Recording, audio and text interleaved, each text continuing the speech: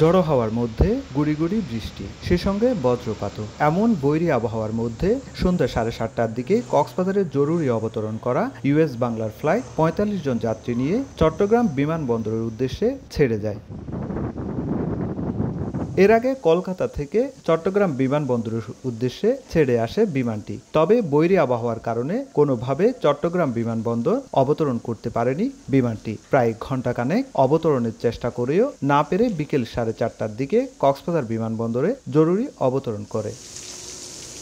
কক্সবাজারেও শুরু হয় ঝড়ো হাওয়া। তুমুল বৃষ্টির পাশাপাশি শুরু হয় বজ্রপাত, যা চলে টানা দু ঘণ্টার বেশি। এ সময় বিমানের মধ্যেই ছিলেন চার কেবিন ক্রু সহ উনপঞ্চাশ জন।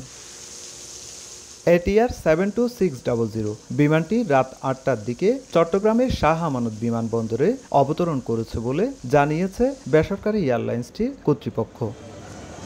সুজাউদ্দিন রুবেল, সময় সংবাদ, কক্সবাজার।